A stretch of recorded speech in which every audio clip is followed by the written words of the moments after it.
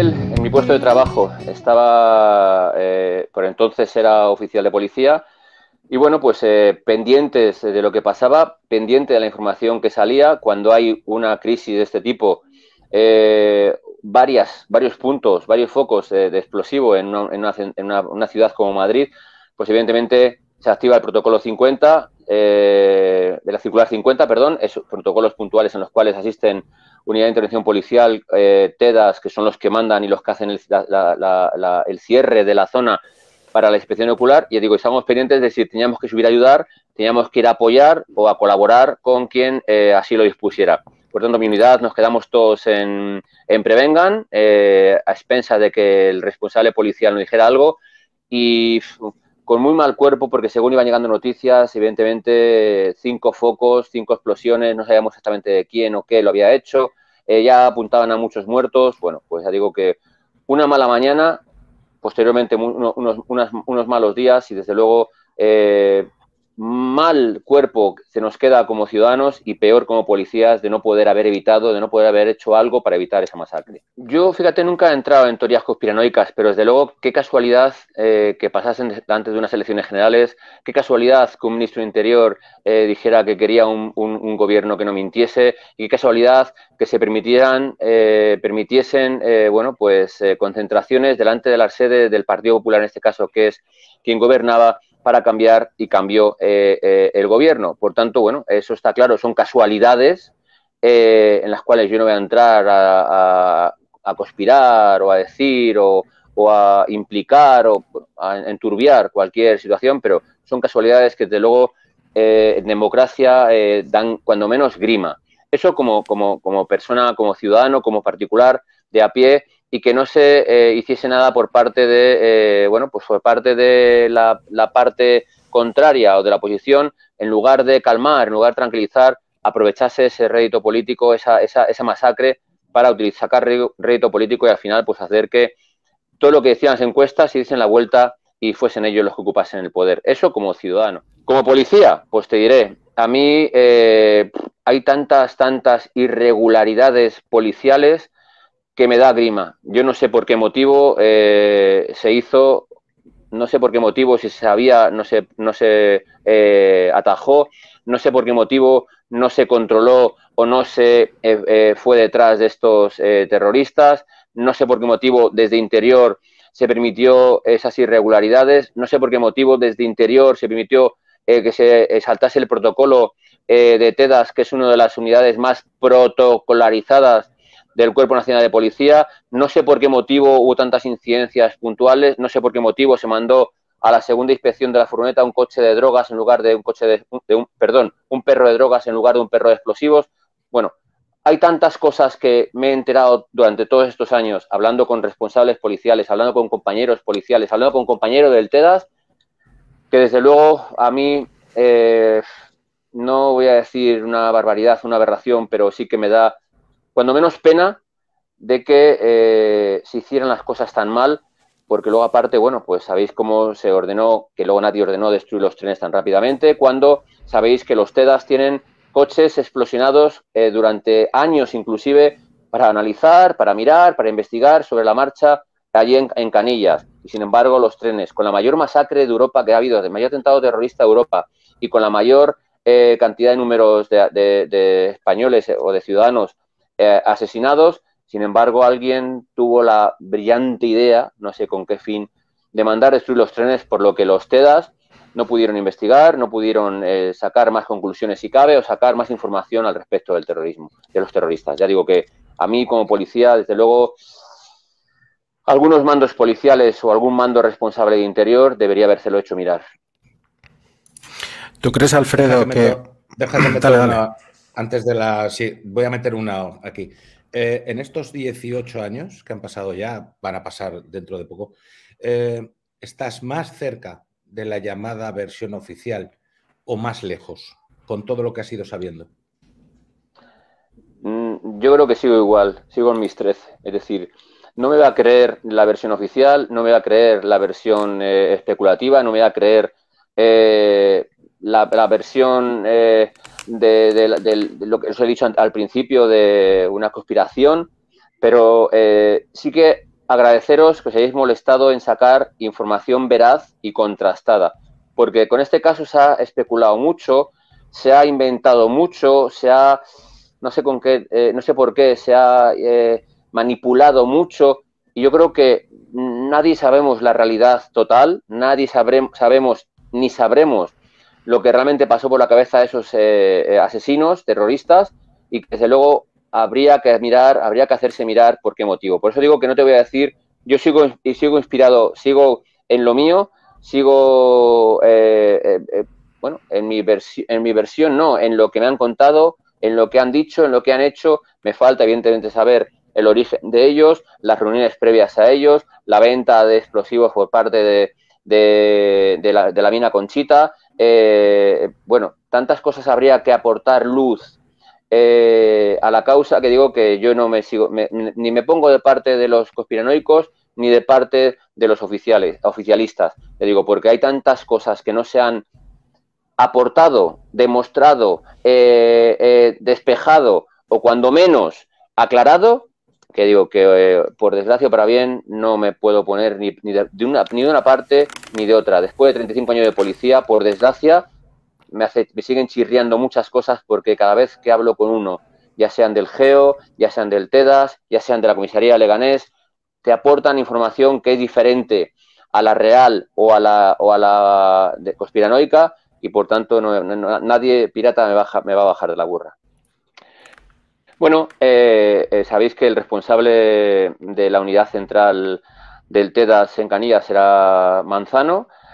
Bueno, Manzano eh, mm, yo creo que, y lo digo, a pesar de que me mandó su libro cuando lo escribió, eh, creo que incumplió, no sé si, conocimiento, pues con conocimiento de causa o, sin conocimiento o por presiones o por dictámenes, no lo sé, pero desde luego incumplió los protocolos que estaban establecidos dentro del TEDAS, ya digo que son la unidad más protocolarizada, pero os voy a poner el ejemplo que siempre suelo poner. Fijaros, es como decir, un administrador de un hospital eh, un día dice, pues hoy voy a, parar, voy a bajar a operar.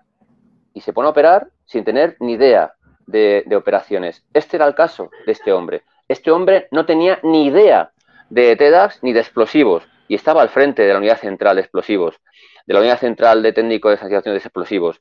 Por tanto, eh, ¿cómo puede un señor así disponer ante la mayor crisis de España y de Europa, de ante atentados terroristas, de disponer como así hizo y como se ha demostrado ya no sé si con responsabilidades penales o no, se ha demostrado que, no hizo, bueno, pues habría que preguntárselo en primer lugar a él y en segundo a quien le, a quien le, ordenaba desde interior, porque luego casualmente eh, desapareció de la unidad, casualmente no cogió mando en plaza, como decimos eh, aquí dentro, estuvo durante dos años o más eh, sin mandar, sin, sin, ordenar o sin dirigir ninguna unidad, luego fue a la, comisaría de Móstoles, ya digo, y que eh, parece que no tuvo ninguna responsabilidad cuando, ya digo, que los TEDAS de Madrid decían que era toda la responsabilidad de muchas de las irregularidades de este hombre eh, al dirigir, al ordenar, ya digo, o al, voy a decirlo así, o voy a decir presuntamente, los protocolos del TEDAS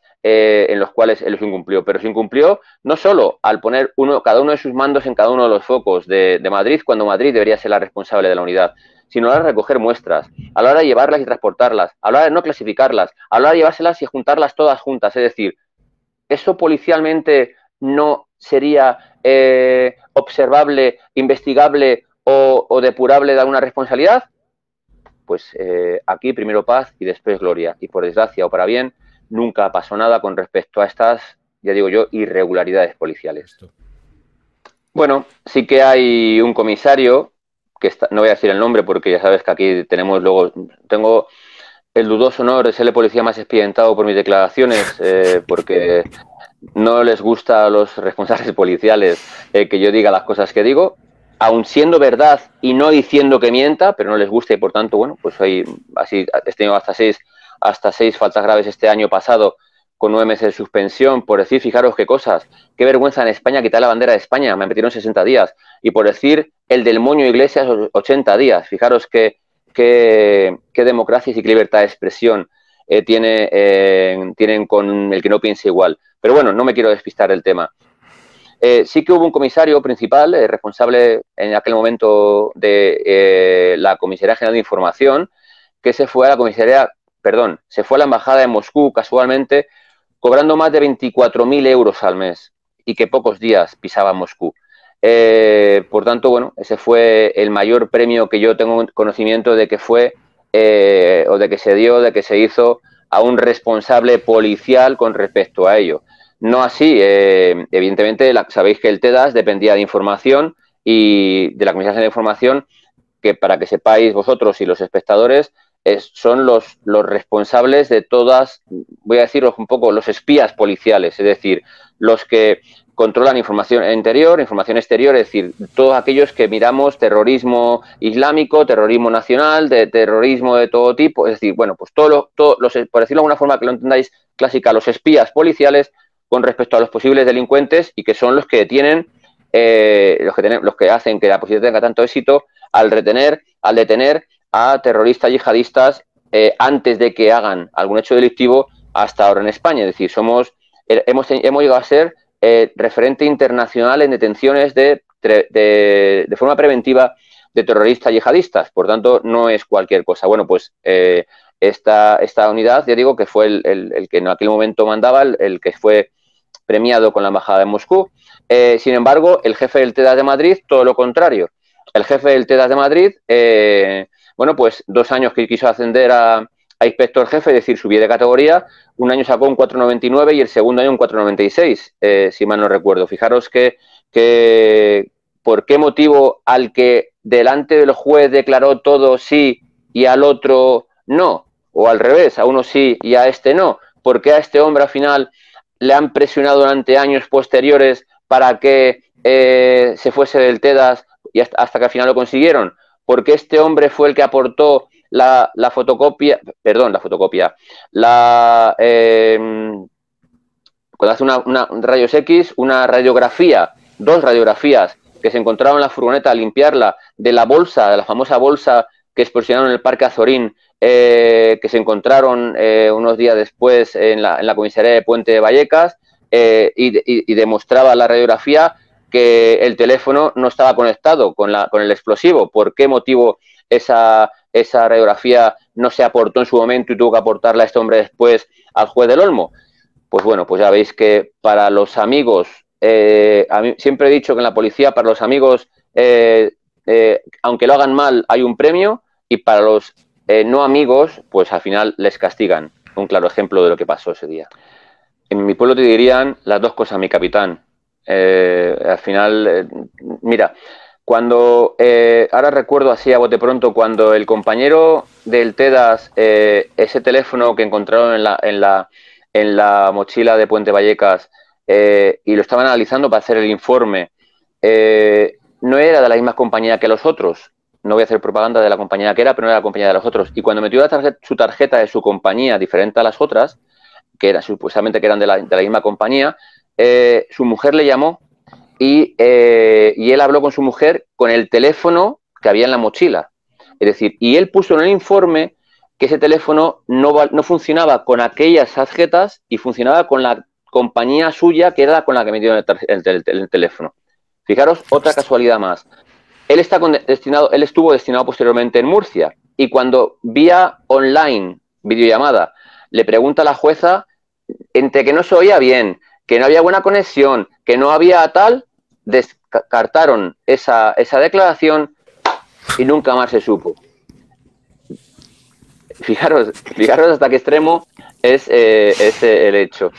Eh, por tanto, que hubo irregularidades, por supuesto. Os he puesto antes el ejemplo de la furgoneta. ¿Por qué el segundo perro, que yo tuve la documentación en mi despacho del segundo perro que entró a oler la furgoneta, supuesta furgoneta de los terroristas, era de drogas y no de explosivos? Otra, por ejemplo.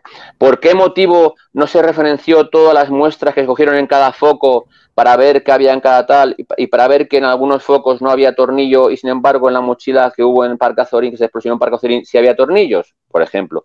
¿Por qué motivo no se aportó la radiografía al juez en el momento que se hizo para demostrar que? Por ejemplo. Es decir, os podría decir muchísimas irregularidades que no, eh, no sé por qué motivo, se taparon, no se ocultaron o, no se aportaron vía judicial y que desde luego eh, a mí cuando digo como policía íntegro y democrático, para no digan, luego me digan lo que quieran decirme, no, no, no se sacó. Por tanto, digo que yo simplemente aportar luz o aportaros información o aportaros detalles puntuales que podéis o no saber, pero que desde luego eh, alguien debería haber depurado, alguien debería haber investigado y alguien debería habernos dejado como lo que somos, una policía ejemplar, una policía especial y una policía referente internacional en investigaciones terroristas y que sin embargo a alguien no le ha interesado. Os pongo el ejemplo, cuando Torronteras con el equipo del GEO, eh, mucha gente ha dicho barbaridades, aberraciones, que si tal y cual, Pascual, bueno,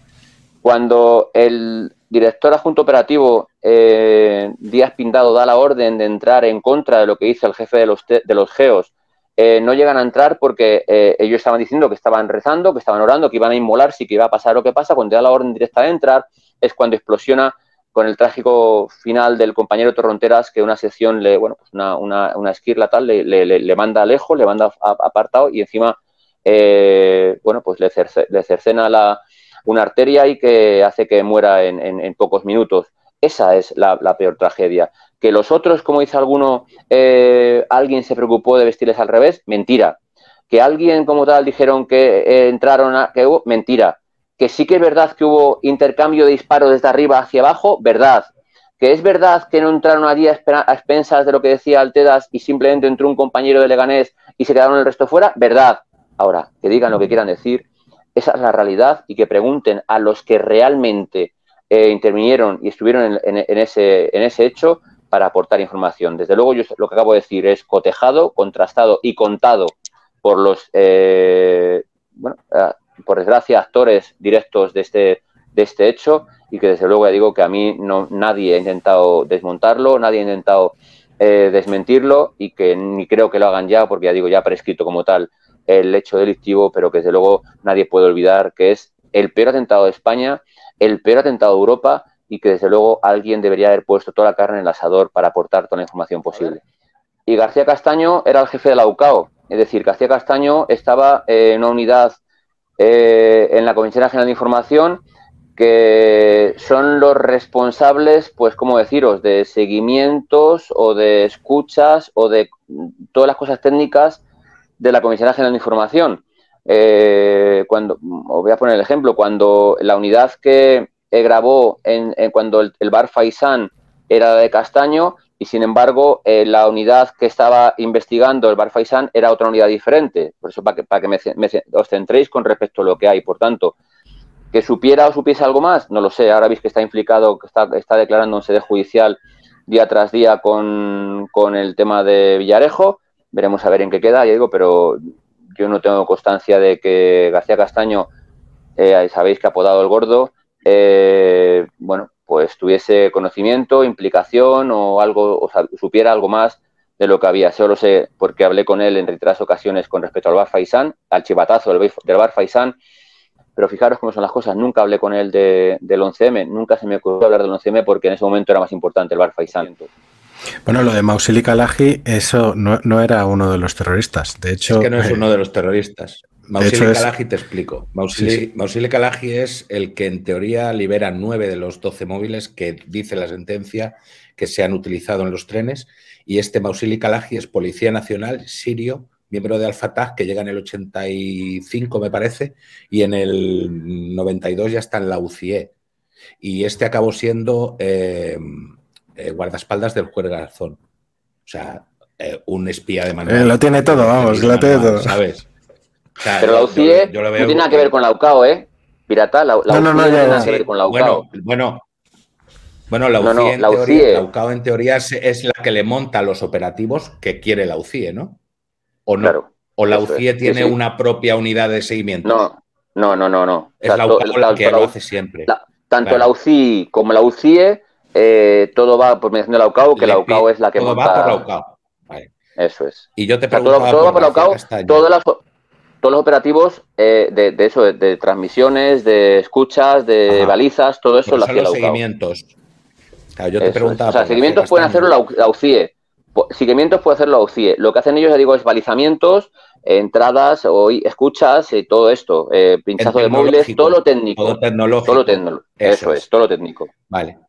Yo te preguntaba por García Castaño, porque al ser de la UCAO, este tuvo que estar enterado de todos los pinchazos que tenían los terroristas desde el año 2001 al 2003. O sea, los tenía que conocer por narices.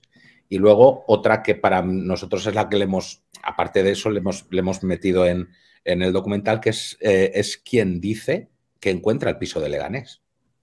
García Castaño. Dice que lo encuentra por casualidad con otro tío de la UCIE. Eh, bueno, ya cuando veas el docu y veas la historia que cuentan y cómo la narramos, ya ves que, sí que hay. Pero eso no es así. O sea, yo, yo, según me dijo Juan, bueno, otro, un inspector, no, no, no, no, yo te voy a decir lo que dijo Juan, ¿vale? Yo ah, no sé, yo digo, no, va a entrar en ese sentido porque no lo sé. Ellos dicen que localizan a un marroquí que es eh, dentro de las, de, las, de las caras que estaban buscando con respecto a los atentados, que cuando se echa a correr, eh, echa a correr, dispara contra los compañeros que le van, le van siguiendo y se mete en el piso. Y cuando se mete en el piso es cuando eh, ven que algo puede pasar, ¿vale? O sea, por eso digo que no, no sé quién... Estás hablando del famoso tiroteo en la estación, ¿cómo se llama la estación que hay al lado del piso? Estación Justo. de... Te lo digo yo ahora. No sé lo Central por ahí. Sí que, vale. No lo sé. Villa no sé qué pues- o, Santa no sé cuánto, sí. Eso, eso pero pues luego eso desaparece. Por alguna razón eso desaparece. Y quien se ve como el que encuentra aquel piso. Zarza quemada, puede ser. Castaño, zarza quemada, correcto. Y el que, y el que se lo atribuye, que yo no, yo ya te digo, yo al final yo no sé si es verdad, pero lo declara en, el juicio, que es García Castaño con un eh, otro inspector de la UCIE el que llegan allí por casualidad a donde tenían todos los papeles, todos los, todos los datos de seguimiento, todas las transcripciones de, los, de, los, de las mm, conversaciones y, le, dicen, ¿qué podemos hacer? Y les dice, bueno, pues ala, meternos en esa habitación y tal. Y cuenta el de la UCIE que entraron en esa habitación y era como un aula grande de colegio y que tenía toda la pared rodeada de, de pisos de papel hasta un metro. Y que de repente agarran un papel y que uno de ellos dice, hostia, este teléfono me suena. Este teléfono es parecido al de uno de los acusados, al de uno de los de la, mm, dátil, de la operación dátil. Y dice, vamos a cotejarlo. Lo empiezan a cotejar, todo esto en tiempo récord, claro, porque eh, lo que ellos dicen es que esto, esto pasa el, día 3, el mismo día de, por la mañana de que, de que explota el piso y dicen que, hacen la gestión, ven el teléfono, se dan cuenta que tiene siete números de diferencia solo con los otros, como él tiene estudiados un montón de números de teléfonos, tiene en la cabeza, dice que le suena y que lo empiezan a seguir. Ven un número que se repite fijo, llaman a ese número fijo y es una inmobiliaria. Esa inmobiliaria les dice que el teléfono del que le están preguntando pertenece a un marroquí y que ese marroquí eh, le llaman no sé cuantitos, nombre falso seguramente, y le dan unas señas. Y ahí es cuando ellos ya van al piso de Leganes. Llaman al telefonillo, preguntan por Pepe y le contestan con acento marroquí que aquí no hay ningún Pepe paisa, no sé qué le dirían. Y a partir de ahí ya ven qué tal. Y es cuando baja el que se escapa de Leganes, el, tal Bouchar, que se pira corriendo, que se salta los. No estaban montados los controles. Se salta el control que había previo y, ahí es cuando ya se dan cuenta de que, de que tal. Eso esa es una de las versiones de cómo encuentran Leganés. Y al final es la que, la que prevalece en el juicio. Así entienden que pasa en el juicio. Entonces, esos, a nosotros esos dos personajes nos llaman muchísimo la atención. Porque claro, es que, joder, estamos hablando de, lo que sabemos que...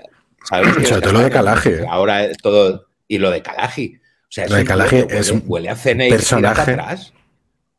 Y además ves, ves el interrogatorio en el juicio y, es que alucinas. O sea, porque le, le, dice, ¿usted, ha, ¿usted se ha entrenado en, en Rusia? Y dice, ¿pero ¿para qué quiere saber eso? dice, sí, saber eso? Que, se ha, recibido entrenamiento militar. Sí, sí, sí. este. Y es un tío, y, por ejemplo, vamos a ver, si yo a lo que voy, yo no, yo, no, yo no quiero decir, para mí es un tío, es del CNI, es un activo del CNI y estaba controlando a los, a los moros y estaba intentando hacer negocios con los moros para ver quién podría ser susceptible de montar un atentado. Eso es lo que yo pienso de Garri. Yo no creo que este tío estuviera metido en la yihad, ni fuera terrorista, ni nada. Estaba, es un activo de CNI y está trabajando en todo momento para el CNI. Pero un tío que está trabajando para el CNI, que me parece muy bien que sea secreto y todo lo que quieras, pero ahí había 29 defensas, macho. y en 29 defensas que pasen a ese tío que ha liberado 9 de los 12 móviles y lo pasen con un, un interrogatorio de 15 minutos, dices, coño, pero aquí qué está pasando. Cuando lo fundamental fueron los móviles. Claro, es que viene todo a partir de los móviles. Es que haya un tío que le han metido 47.000 años por una puta tarjeta de móvil, tío. Y al que libera 9 no le dices nada. En 15 y en 15 minutos le. fuera. Le despachas. Claro, pues sí. Claro. Yo entiendo, claro. ahí, tenéis un buen. Ahí tenéis un buen punto de inflexión con respecto a eso, claro, le digo, pero que, que digo que yo lo que os he dicho eran la mayor la, las compañías, si no me equivoco, era Irtel, ¿no? De los de las de los teléfonos móviles que había. Era los. Eh, no, no, no. Son de. Es que. No, es muy complicado, déjalo, es igual. Es muy complicado. Vale, no, pero que la, los, que la compañía. Los teléfonos vienen por un lado. Ah, no, me parece que es Amena. Amena, joder, Aitel, digo, Amena, coño. Eh, era la tarjeta de Amena, no los teléfonos, digo. O sea, el, el compañero que metió la tarjeta era de Movistar, que no quiere decir la compañía porque no tampoco hace publicidad. Y, es que eso no se lo sabíais, llama a la mujer y él coge la llamada con el teléfono de los malos. No, eso, no lo sabía, es buenísimo. No, no, eso no lo sabíamos. Es buenísimo. Y contesta a la mujer, es que eso me lo contó a mí él. O sea, desde Murcia me lo contó a mí él. Y le dije, ¿y qué? Dice, sí, sí, yo hice el informe y el informe fue al juzgado. Ah, vale. Y cuando fui a juicio, pues el juicio hubo, casualmente hubo interferencias, hubo ruidos, hubo tal, y la jueza, el juez no me acuerdo, descartó la declaración del compañero porque no había buena comunicación. O sea, algo fundamental en el, desmontaje o lo que sea de la llamada y me dices que no se escucha bien casualmente y no nos aporta, no llamas por otra, de otra manera o no aportas la declaración de otra forma, pues bueno, pues para que veáis. O sea, que cuando algo se quiere ocultar o tapar, se tapa y ya está. Eh, eh, eso, pues yo digo que ahora si me veis igual me cierran otra vez YouTube, YouTube, Twitter, o sea, cualquier cosa.